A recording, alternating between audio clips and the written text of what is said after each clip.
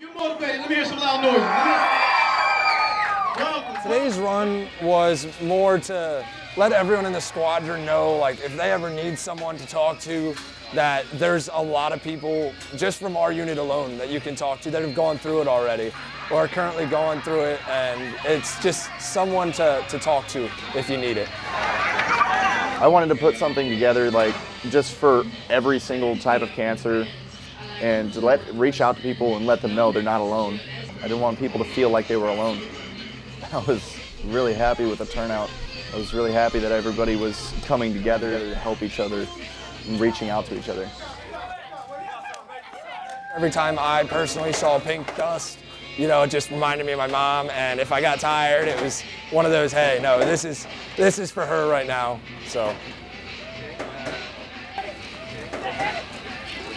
The uh, response was tremendous. We had close to uh, 80 Marines from VMGR 152, you know, give up their uh, uh, Special Liberty this weekend in order to show support for each other and also to remember their loved ones.